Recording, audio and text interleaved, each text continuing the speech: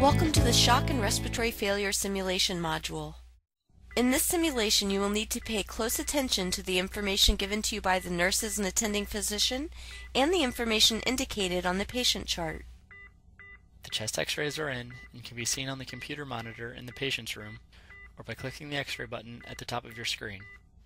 The patient has been intubated and has been placed on the ventilator successfully. What is the most appropriate initial ventilator order? Correct. This patient requires assist control because he's not spontaneously breathing, and his ideal body weight is somewhere in the ballpark of 70 kilograms. Doctor, the patient's lost his pulse. Resuming compressions. Recheck the leads to ensure other arrhythmias are not present. Two minutes of chest compressions have been a failure, and there is still no pulse, spontaneous respiration, or blood pressure.